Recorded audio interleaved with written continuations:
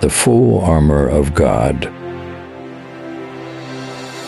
Finally, be strong in the Lord and in his mighty power. Put on the full armor of God so that you can take your stand. Against the devil's schemes, stand firm with belt of truth buckled around your waist, with the breastplate of righteousness. In addition to all this, take up the shield of faith, with which you can extinguish all the flaming arrows of the evil one. Take the helmet of salvation and the sword of the Spirit, which is the Word of God, and pray in the Spirit on all occasions with all kinds of prayers and requests.